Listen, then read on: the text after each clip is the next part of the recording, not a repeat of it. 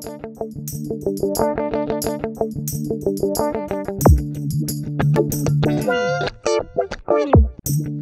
you.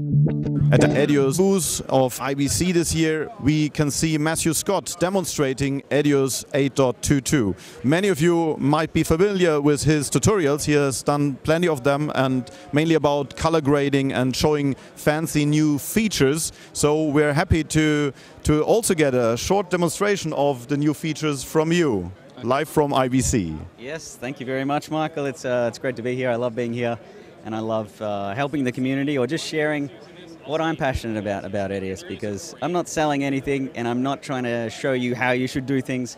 I just show you how I do things and why I do them, and hopefully uh, it's well received. So yeah, um, while I've been here, I've been demonstrating two new features uh, within Edius 8.2. And like you said, a lot of you may already be familiar with them, but maybe you'll learn a thing or two because I'm going to be demonstrating how I use them and how I've been demonstrating them at the show. So should we get into it? Yes. All right. now, I will be moving a little bit faster than tutorial speed. Um, but again, you can check the tutorials already online, slow them down. But just to give you an idea of um, sort of what I've, I've, been demoing here at IBC. So, there's um, the first thing I just want to get out of the way is um, something that's not necessarily new to Edius, but it's definitely very important um, when doing high-end color correction or working with content that um, is one higher than 8-bit and uh, two, maybe has raw properties and things like that. So when we're doing high-end color correction, we want to make sure we're working in 10-bit. I've been through this a million times, but let's just show an example between the difference of 8-bit and 10-bit. So currently I'm working in 10-bit, and I'll just, I love showing this because it, it, it really exemplifies, how do you say that word? It really is a good example of how important it is. So I'm just going to add a curve here um, and this is a sort of a typical situation where 8-bit footage will just fall apart very quickly. So if we go full screen here, you can see this beautiful color grade. Um, if I change the bit depth to 8-bit color space, um, straight away you can see blocking, um, or what you call banding here, and hopefully you can see that on the camera as well. And what that's just showing us is that once you push the grade too far, which doesn't happen very quickly, I'll, I'll add, um, you start seeing the separation between the 256 shades uh, between black and white and RGB as well. So if we go ahead and just switch that back to 10-bit, instantly things are better. We've got 1024 shades. So this is really important. Um, and it's especially important when we're going to be using Edius's new primary color correction filter, which is awesome. so let's have a look at um, two new filters. One of them is a primary color corrector, which has some really um, some cool stuff in it, not just color correction per se, but um, color management, um, which is really cool and um, the mask tool, which you're probably already familiar with, but now we can track the mask tool. So I'm going to use both of these sort of combined now. And I like to demonstrate with this clip, maybe you've seen it, Some Kind of Beautiful. It's a movie that I shot in Australia not long ago. And um, shot on the Red Scarlet, but transcoded into DNxHR. This is 10-bit um, footage. So we have our character walking in the door here. And what I want to do is sort of demonstrate how these tools might be used in a news environment and then we'll go on to have a look at how they might be used in a more post-production high-end environment. So my goal here is to uh, blur this guy's face out. Um, but before we do that, let's go ahead and color correct this shot using the primary color corrector tool. And I'm going to explain this a little bit better in a moment, but what I'm going to do is just transform the color space into, from log to an Alexa color space. So we have the footage transformed very, very quickly there. Um, but one thing I notice when that happens is because the Arri Alexa colors were not designed for a red camera, so things like skin tones might look a little bit off. For example, this guy's skin tones are very red, magenta, so I'm just going to quickly uh, fix that using a, a common technique that I've taught many times using the three-way color corrector. It's going to allow us to limit the hue, saturation, and luminance um, using what's called a qualifier. So if I click on the color range, click on his skin a few times, and then turn the key on, you can see that I've successfully very quickly created a key uh, based on that color range. And we can just sort of uh, modify that a little bit as well. And now what I can do is I could change the color of his skin. And basically, you don't have to worry if you get don't get a perfect key, um, because all we're doing is just very gently taking that magenta shift out of his skin. I might just desaturate the midtones a little bit and push a little bit of yellow in there. So that's looking much better. We've transformed this shot with a primary color corrector and we've fixed the skin tones. Next thing I want to do is use the new mask tool. So we'll go ahead and drop the mask tool on there. And uh, we're just going to create a very simple shape around this guy's head, and we're going to use this new tracking feature. So traditionally what we would have had to do was add keyframes here and go back in time and animate this mask ourselves, which, as you can see, isn't too difficult, but it's not as accurate or as quick as doing something like this. I just click track forward, and as you can see, Edius is using features from the video clip and it's resizing, repositioning, and rotating the mask to suit uh, what we're trying to track here. So we can go ahead and press stop there. You can see all the tracking information is now stored in these keyframes. Now I'm going to track backwards. And sometimes you notice the, uh, the tracker doesn't work perfectly, but we can always go in and just modify that. So I can just shift this over here and shift this over here. So very quick and easy, very um, easy to understand as well. Um, but now the goal might be in a news environment to blur the guy's face out using a mosaic. So I'm going to go ahead and do that. All the news guys love a mosaic. They just love a mosaic. I'm going to uh, soften the edge of the mask. No, but I want I want to soften it by maybe yeah 50 pixels. And, and then maybe sharpen it by a lot more, just to make sure we can see it. There we go.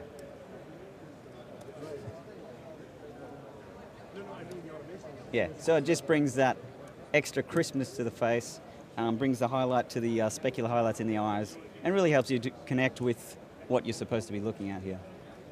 So very subtle effects here, just gently affecting skin tones, gently affecting focus using a mask.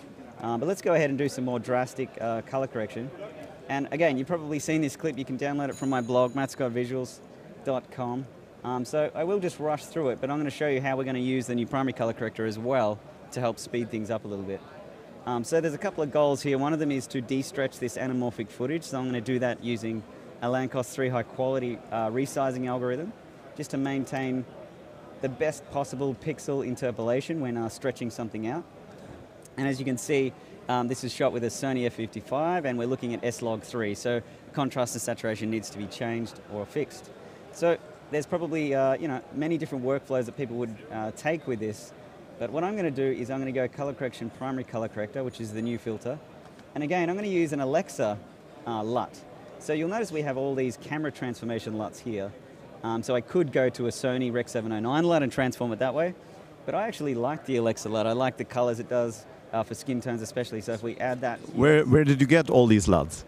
Oh yeah, so this one um, specifically, you can go to ARRI's website and you can create your own LUT.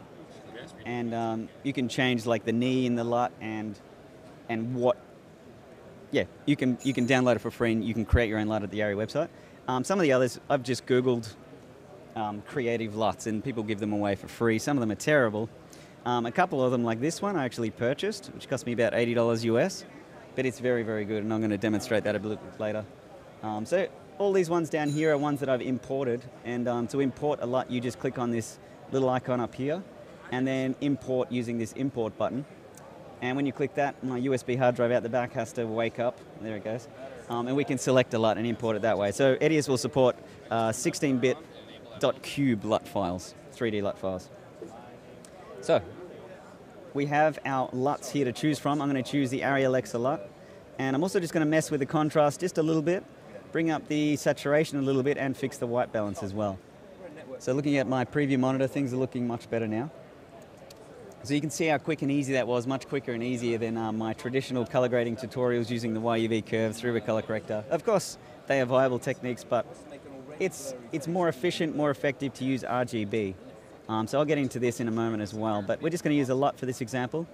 And now we're going to go ahead and change the color of her eyes. So I just want to show you how quick and easy that is, especially with a mask that automatically tracks. So just to show you how well the, the mask tracks, if I add a mask here and just track forward, um, you'll notice that the mask sticks very well to our eye, even though there's uh, raindrops falling down, because it has a lot of features to track. So you really should experiment with the size of the mask that you're tracking and the position of the mask before you start tracking. So if you're not getting good results, try limiting the range the mask looks at or try making it bigger as well. But in this case, we don't need a very specific mask. We just need something very general here as long as we're not including anything outside of her face because the, the idea is to key the blue. So we've got a blue background, blue top, and blue eyes. I want to focus my Kia inside of this mask. So let's go ahead and track this. And just as a quick tip, if you turn off your uh, color correction filter before the mask, you'll get a quicker track because that way the computer doesn't have to process the process the color correction, and then track. um, but we're just not going to do that because it looks better. so once we have our tracking data, you can see it's very quick and easy. Then we can go ahead and add a filter on the inside of the mask. And uh, this is one thing I really love about Edius's mask compared to other masks. It's already set up for you to be very quick and, and you know effective. Like I've got an outside filter and an inside filter and a softening. I can do all this very quickly without having to make extra masks for the outside and things like that. Um, so now we have our mask on the inside filter. I'm just going to use the Chrominance keyer, which is here. And I'm going to use my eyedropper, turn my key on, and click on her eye. Now you'll notice if I click her skin, I've created a key based on the colors and luminance and saturation of her skin. But if I click on her eye, I'm limiting the color range to more blues. But you can see the, the eyedropper hasn't worked very well. So we can always go to the color luminance tab and look at the chroma range and just decrease the range until we get a nicer key. So now we have a much nicer key and the beauty of the chrominance filter is we can blur that key as well. So I could probably get a better key than this, but let's just leave that for now. Turn the key off, go ahead and add a three-way color corrector. Now when doing things like eyes and brightening up or relighting someone's face, I always jump straight for the mid-tone contrast slider and just take away some contrast. And that way you're sort of brightening things up gently. It's a little bit easier than using a curve. And then I'm just going to drag sort of like a twilight orangey green into her eye. Go ahead and press OK. And you can see the result here. If I just duplicate this layer and delete those filters, uh, yeah, we've got a great effect here using very simple tools in Edius, um, but very powerful tools. So when talking about the power of RGB processing, um, as you guys probably know already, um, Edius works in a YUV color space. And at least we get to work in 10-bit, and I showed the importance of that. But now that we get to process things in RGB, we can use things like LUTs because an RGB is a very precise measurement where YUV has lots of calculations in it. RGB is more direct. So what happens when you drag a clip to the timeline in Edius, it's instantly being processed in YUV. As soon as we go ahead and add our primary color corrector, it's all of a sudden being interrupted by this RGB debayer, and we're not even looking at YUV anymore. We are here, but on our output, we can look at RGB if we like, depending on the output card. But the point is the processing is happening in RGB. So why is that good? Well, one for precision, so we can start using LUTs and things like that. But two, remember we used to color, well, remember I used to demonstrate coloring with a YUV curve. And let me just quickly rehash that here. So we get the YUV curve. If we look at our scopes here, and we go ahead and adjust some contrast, you'll notice it doesn't matter what I do with this curve, my color does not change. So what that meant was, although this can be useful sometimes, just affecting the luminance only, often I want to increase saturation and, and do some saturation tweaks as well, which is another step. So I'd have to adjust my contrast here, and then go ahead and go Effect, three-way color corrector, and you know me, I love adjusting saturation in the midtones, but now that we have the RGB curve, I find myself not using those filters anymore. Because if with the RGB curve, we turn our scopes on, and we go ahead and play with a similar curve, you'll notice what happens when I add contrast, I'm also increasing saturation. So this is really important.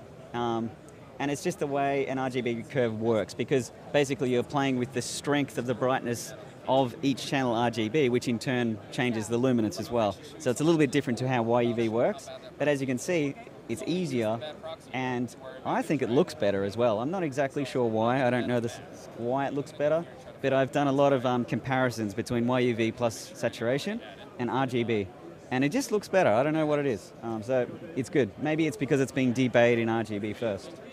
So as you can see in this shot, it's looking much better, and boy does it look beautiful because I shot it. Um, but it looks much better now that I'm color grading it as well.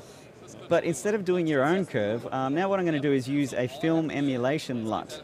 So you probably already know what a LUT is. It's a lookup table. We used an Arri Alexa one before.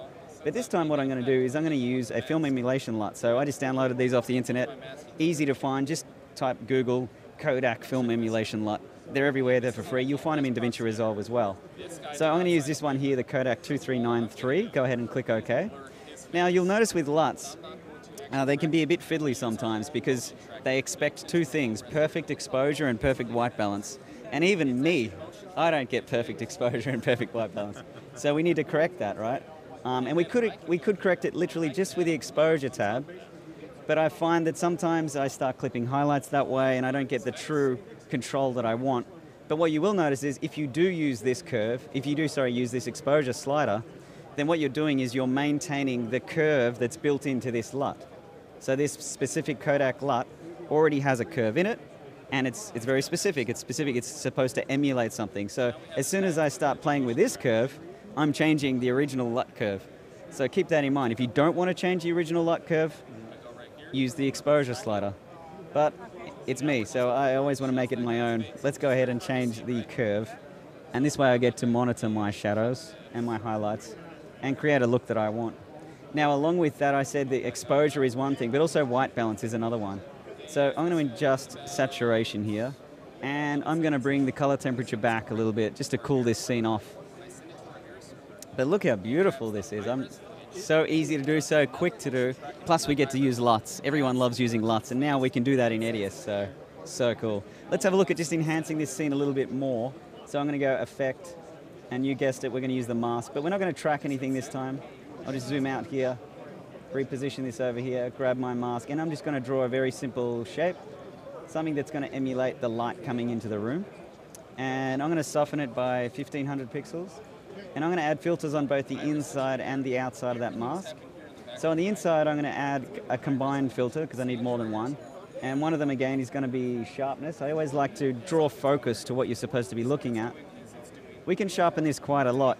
Keep in mind that when you're working in Ultra HD, um, the sharpening effect has less effect when you're working in HD because this is a pixel measurement.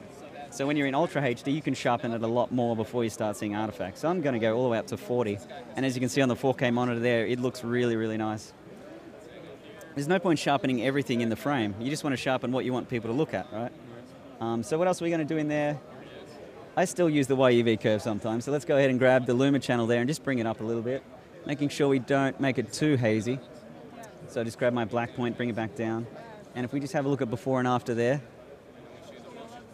you can see the subtle effect that that has done. And then on the outside filter, I'm just going to use a three-way color corrector and just gently bring down the midtones and the shadows and desaturate the shadows as well. Go ahead and press OK, press OK. And look at what that mask has done. It's subtle, but it's helping you take your focus off the bottom left-hand corner and bring your focus more into the center of the frame. We can always go back and emphasize that even more, go back to the YUV curve, and just bring up that brightness even more. And you can see the difference there. Now we could go ahead and you know add another mask here and maybe just track and relight his face. Very simple to do, just add the mask there and start tracking forward. Now again, what we're doing now is we're processing a primary color corrector with a LUT, a mask shaft of light with sharpness, so our tracking is happening much slower. So if we go ahead and abort that, turn our filters off, uh, we're going to get much faster tracking as you can see there. So just a little tip when using the tracking tool. So that should do now just for this demonstration. We'll turn our filters back on, and even though we've already sharpened it by a hell of a lot, I'm going to go ahead and sharpen it even more. So we'll just finish off this demo uh, with one more example here. Um, but you can see the before and after, things are looking very nice. We've got this beautiful filmic look, and um, thanks to the LUT, our color uh, transform was done for us. Now, speaking of color transform, let's have a look at this scene. Um, the movie that um, this content is from is called The Resurgence, a fan-made Pokemon film, so look out for that. Shot that in Melbourne recently, got to plug that for Revolving Door Productions. um, but let's go ahead and add a primary color corrector here. And um, we've been talking about the curve, we've been talking about LUTs, but white balance is also so much easier now with this white balance slider. So it almost makes the white balance uh, picker in the three-way color corrector redundant because it is just so much easier, especially because we can fix magenta and green tint as well. So let's go ahead and first of all add a LUT. Now this time we're going to add that LUT I was talking about that cost me 80 bucks. Um, it's a Kino 34 LUT, which is basically emulating Michael Bay's classic teal and orange look. It's way over the top, it's distasteful, but everyone loves it. So let's go ahead and apply that LUT. Now, like I said before, if your shot, if your footage is not perfectly exposed with perfect white balance, the LUT's going to look terrible. So we need to fix the white balance and we need to fix the exposure. And you know what? I'm not happy with this curve. It needs more contrast. Let's bring up the contrast a little bit and let's back off the saturation a little bit. But look at what this LUT is doing. It's so cool. Look at the skin tone separation. The skin has become this extreme copper color, and we still have pure whites, but we have this teal. When anything's like gray, it turns teal. This is the teal orange look. And you can control how much teal we're looking at or how much the LUT is playing with that separation just by adjusting the white balance. So the more warm you go, the less teal you get, and the cooler you go, the more teal you get. So somewhere in between, which is a perfect white balance, things are looking pretty good. Now, just to finish off the demo now, uh, we'll just quickly talk about HDR because uh, this is the new buzzword at IBC, and um, this is the new 4K. And 4K wasn't that exciting, but HDR is exciting. I'm really excited about HDR because what it means is that for years we've been stuck in this tiny little gamma space where we only have a limited range of colors and a limited range of brightness. And that's not just a software thing, it's a hardware thing. So the TVs that you buy are all limited in this range. So it doesn't matter if we're shooting raw 16-bit, grading in 10-bit. At the end of the day, we're missing out on so much. So um, now, uh, thanks to Atomos, we have this little monitor here that I can demonstrate, which you may not be able to see on the camera, but I urge you, if you ever get to sit in front of a real HDR monitor and see the difference, it is amazing. You're to have to take my expressive face um, for real because it seriously is. So, how do we grade uh, HDR in Edius? Well, currently there's no official workflow for HDR because there's a lot of things that are still being implemented and a lot of standards that are still being standardized. And one of them is like the monitor itself. Uh, monitors um, are measured in brightness, how what's the brightest thing they can show. And normal TVs have a maximum brightness, I think, of 100 nits. And um, HDR televisions can go all the way up to 10,000 nits. But currently on the floor, you'll have a range between 1,000 nits, 4,000 nits, 5,000 nits. So which one is it? How do you grade for which TV? This is what I mean. It's not standardized just yet. But the point is, it's way brighter. so not only do we have a, a maximum brightness increase, we also have a color gamut that is so much bigger than before. So take this for example, my phone represents the current color gamut and this mouse pad represents a new color gamut. So much, much bigger, way more range of richness and saturation. And um, so now what I'm going to do is uh, just go to my primary color corrector, right? Make sure our source is in a BT 2020 color space, because if you have a look here on our scopes, uh, we're working in a BT 709 or Rec 709. This is the color space I was talking about. This is the gamut space that we're restricted to for so many years. But now in BT 2020, obviously we've maximized that, excuse me. Just uh, burping up my hot dog from outside. Had this truffle hot dog, so delicious. anyway, so BT 2020. So as you can see, this color correction tool um, is very useful for, for creative reasons and very powerful because it's processing in RGB 10-bit, but it's also a color management tool. So as I talk about HDR workflows and Edius supporting it, I wouldn't really call this a super refined workflow, but um, at least we can do it. And what I'm saying is that I'm managing my project's color through this filter. But eventually, uh, what we're going to be seeing is in project settings, maybe we'll have a drop down here which says um, SDR, HDR, and maybe you get to even choose the brightness of the nits of the television, something like that. So it's all going to be much easier to work with eventually. Um, but just for now, let me demonstrate using the primary color corrector. As long as our BT 2020 is in action, um, and maybe I'll choose BT 2020 for my output as well. Then what we can do is we can start grading in HDR. So it's going to look terrible here. We can't trust these anymore. This looks crap, this looks crap, but this little guy looks awesome. So what we need to do is actually change our monitor to show Atom HDR. So this is Atomos's interpretation of HDR using their own curve.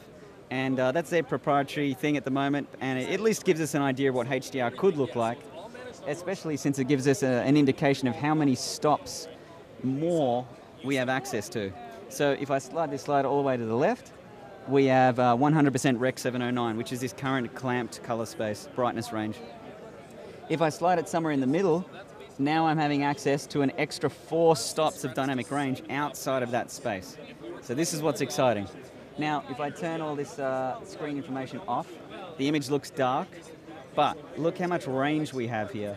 I'm going to play with my curve, my RGB curve, and uh, you can see here just the, not only the, the, the contrast is just phenomenal, but the saturation. There's something about HDR saturation, and it's because of that huge color gamut. When you increase saturation to like something crazy like that, yeah, it looks distasteful. And let me fix the white balance so it actually looks a little bit better. Yes, like you would never increase saturation that much, but maybe you would if it was like some cartoon movie about the Snow White or something. But the point is, in Rec 709, that amount of saturation looks terrible. Like it looks like a mistake. In BT 2020, Rec 2020, it kind of looks cool. Like there's just something magical about the colors and the brightness. So just quickly, what I've done is just scrub through to the end of this frame um, because there's a beautiful contrast ratio happening here. We have streaks of light coming in through here. And for those who are interested, that's a 2K Blondie outside shining through some slats of wood. I got some overhead soft boxes with tungsten balanced light and an LED in the fridge. So you can see, yeah, contrast is beautiful, the set design's wonderful, looks terrible over here, but in HDR, watch this. I mean, I'm going to set my destination LUT to that Kino Hollywood look, and look at this, man. It just, it just looks so awesome. Look, the light shining on that wall almost is like, it's like lighting my face. This is just a whole new world, and it's so awesome. Just back off saturation, make it a little bit more tasteful.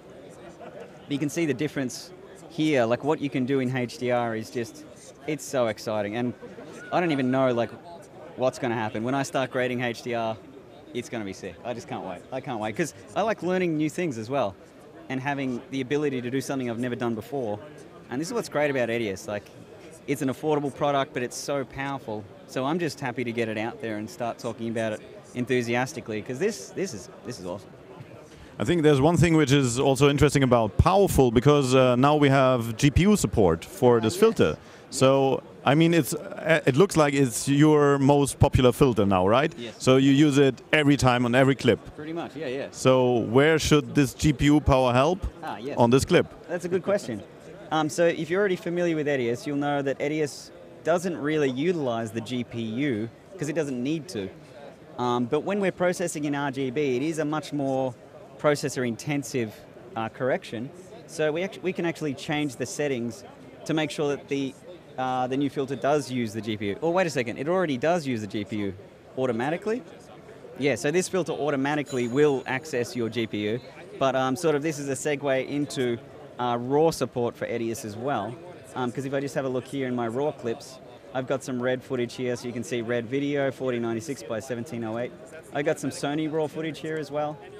Um, but the point is, you can go to the settings, system settings, importer, exporter, and you can say, hey, when I import Sony RAW, make sure you debayer it using the GPU, and you can select which GPU you have. Um, and that's really powerful as well. So Edius is now always the king of speed and, and no rendering using CPU, but now we're leveraging GPU as well for like RGB processing and raw debayering and things like that.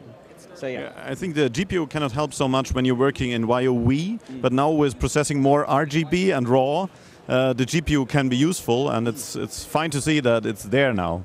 Yeah, and you probably use it a lot. I do, yeah. yeah, especially since GPU is becoming much more affordable. I bought um, an 8 gigabyte Radeon R390. It was like $499. That's amazing. And I can use that in Edius. So, yeah, that's, yeah, this is all exciting stuff. Very exciting stuff. So, hopefully, you got some um, use out of that. Remember, a lot of those LUTs you can just find online. You can modify the LUTs. You can create your own LUTs in Photoshop. So, yeah, I mean, all this stuff's just opened Edius into a new world. so thanks, Michael. Yeah. Matt, thank you so much for your demonstration and all the tips and hints and tricks. And uh, yeah, I guess many users will have uh, some some time now with the Edius to try out and find fancy things as you have found them. Yeah, hopefully. Thank you. thanks again. Cheers. oh, yeah, sorry. well, were you going to fist bump me there? Yeah. Yeah, yeah. And and high five.